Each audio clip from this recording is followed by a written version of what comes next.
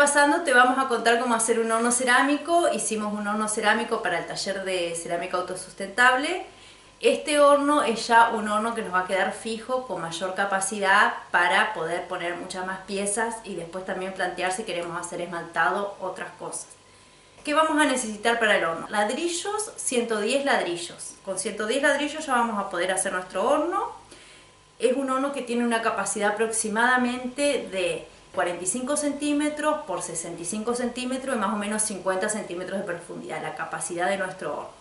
Hierro, hierro del 12, vamos a necesitar de 10 a 12 hierros, eso depende de la distancia que le quieran dar, en este caso usamos 11 hierros. Y aparte vamos a necesitar una planchuela un poco más resistente para la boca, o puede ser un hierro más grueso, o dos hierros si no tienen una planchuela. Y además vamos a usar eh, dos hierros más de 50 centímetros aproximadamente para la boca. Y barro. Nuestro barro, el barro que ustedes preparen, va a depender también de lo que tengan disponible en el lugar. En nuestro caso usamos eh, parte un barro que estaba medio trabajado que es de un corral de vacas que ese ya tiene, aporta, las vacas le aportaron bastante batería fecal, orina, también van pisoteando, bueno, ahí había hojas, eso ya juntamos de ahí, es como barro más preparado.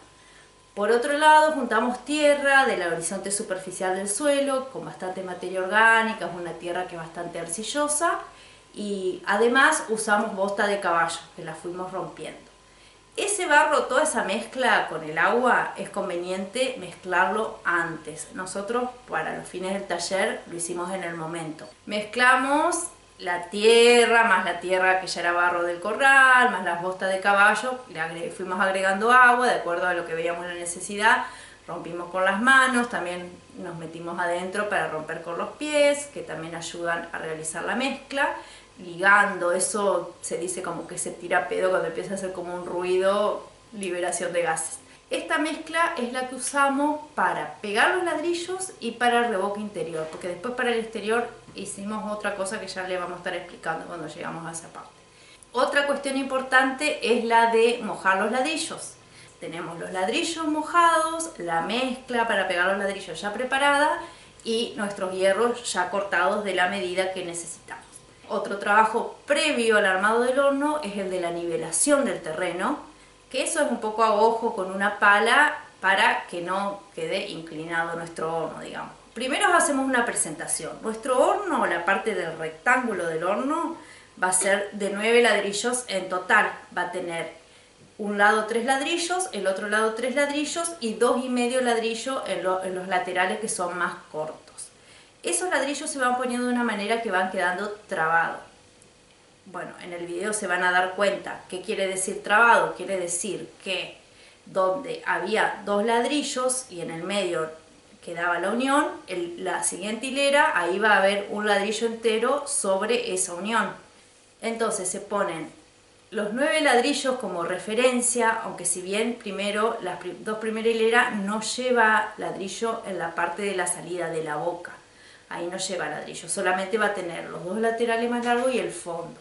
Entonces ahí se van poniendo los ladrillos, que serían tres de cada lado y dos y medio en el fondo, dos hileras nada más. Después sobre esa hilera se colocan equidistantemente los hierros de 65 centímetros que más o menos van a quedar separados entre ellos por 4 o 5 centímetros aproximadamente y la planchuela más gruesa de metal o, pueden ser dos hierros en la boca donde van a apoyar los ladrillos de la boca. Y así se siguen con siete hiladas más pegándolo con la mezcla hasta llegar a la séptima hilada, trabando los ladrillos pegando con la mezcla. Es importante hacerle esa entrada, esa boca, que vamos a hacer esas tres hiladas de ladrillo con los dos fierros del medio, donde van a apoyar ladrillos arriba, porque ahí es donde va a estar nuestro fuego, para que nuestro fuego no esté muy directamente en las piezas, porque si no las piezas tienden a romperse más fácilmente por el shock térmico que tienen, por el, calor muy brusco si le da, se nos van a quebrar fácilmente las piezas. Entonces por eso se le hace una boca para alejarle el fuego y que el calor empiece gradualmente a calentar las piezas y que entre más suavemente el tema del calor. Y después por último lo que vamos a hacer, una vez que ya armamos todo el horno, la boca y, el resto del horno es revocarlo, que en este caso usamos el mismo barro pero le agregamos paja, paja de, puede ser de pasto cortado, en este caso de unas cañas que había ahí en el lugar, le agregamos porque esa paja va a ayudar a que se haga una trama y se sostenga mejor el revoque. Y por último lo que hacemos es prender un poco de fuego para que se seque un poco nuestro horno. No es necesario, pero bueno, en este caso queríamos secarlo un poco para bueno, que ya se vaya secando para la quema. Para nuestra tapa del horno, que es con ladrillos sueltos, y dos hierros para que apoyen ahí los ladrillos. Que eso sí, tienen que ser más o menos de un metro, esos dos hierros más. Y bueno, que lo disfruten y nos vemos en un próximo video. ¡Chao!